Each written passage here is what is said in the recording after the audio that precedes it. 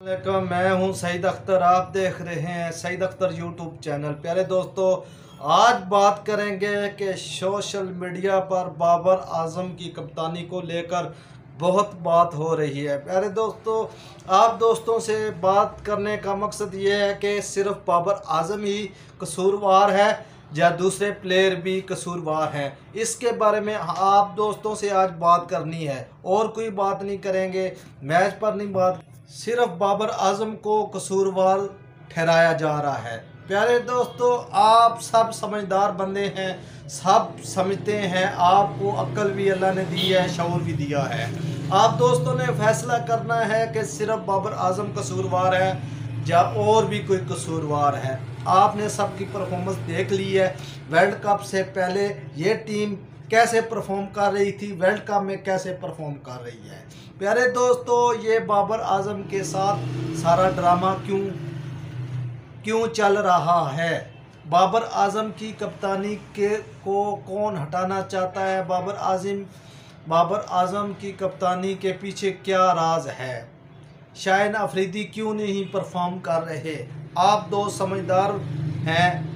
हारस, राउफ और शाहन अफरीदी लाहौर कलंदर की तरफ़ से दोनों प्लेयर खेलते हैं। शाहन अफरीदी के दिमाग में किस बंदे ने कप्तानी का कीड़ा, एक कीड़ा होता है ना कीड़ा, वो किसने डाला? ये सारा साथ इधर से शुरू हुआ। शाहन अफरीदी को नैब कप्तान इसी वजह से बनाया जा रहा था। बाबर आज़म ने कहा, मुझे नैब कप्तान की ज़रूरत नहीं, जो है शदाब खान वही नायब कप्तान रहेगा, नहीं तो वरना कोई नायब कप्तान नहीं होगा।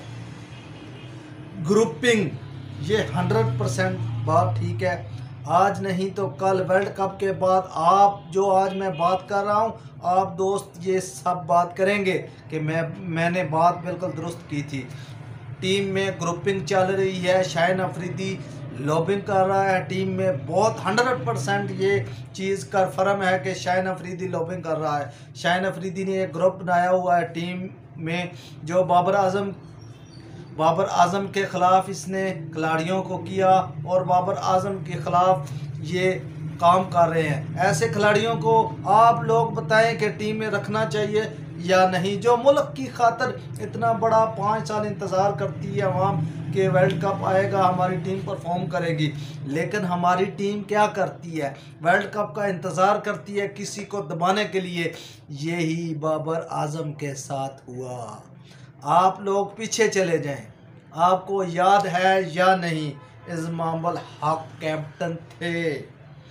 जब इजमाबल हक कैप्टन थे। आखिरी मैच में आप भाइयों को याद होगा कि इजमाबल हक वर्ल्ड कप में ऐसे ही इजमाबल हक के साथ किया गया था और इजमाबल हक की आँखों में आँसू थे। आखिरी मैच में वर्ल्ड कप की कप्तानी की छुट्टी कराई गई थी। यही लॉबिंग हुई थी।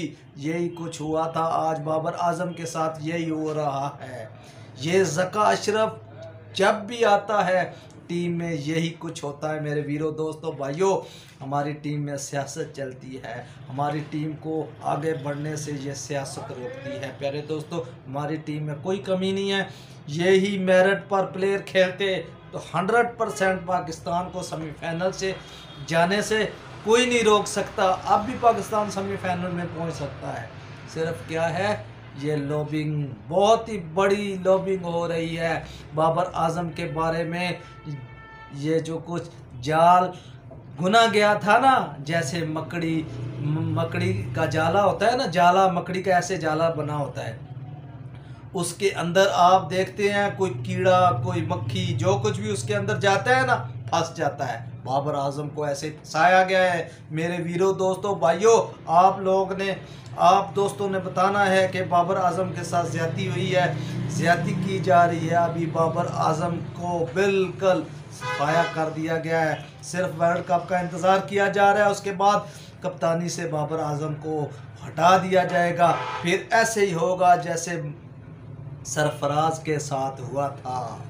उसने क्यों चैंपियन ट्रॉफी इस मुल्क को जिताई थी? सबसे बड़ा कसूर यही था सरफराज का, कि सरफराज के साथ भी यही कुछ हुआ। आज वो टीम में नहीं है। मेरे प्यारे दोस्तों, समझो, ये मुल्क की क्रिकेट किस तबाही की तरफ़ जा रही है? यही वजह है इस टीम को। किसी किसी कैप्टन को इस टीम ने इसमें यही कुछ होता रहा।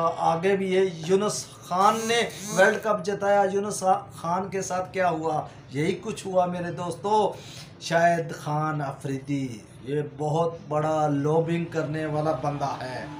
ये शायद अफरीदी ने ही जो कीड़ा कप्तानी का शायन अफरीदी के दिमाग में डाला है, ये शायद अफरीदी ने किया है। ये शायद अफरीदी ने कहा है, तू अब कप्तान है, मुस्तकबिल का कप्तान है अगली अगली कप्तानी आपकी है। क्या प्यारे दोस्तों, इस परफॉर्मेंस के साथ इस बंदे को कप्तान बनाना चाहिए?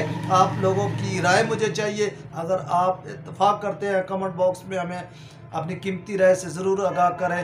अगर हमारी वीडियो अच्छी लगे चैनल को सब्सक्राइब कर देना बेल आइकन को प्रेस कर देना, आने वाली वीडियो की नोटिफिकेशन आप दोस्तों तक पहुँच सके।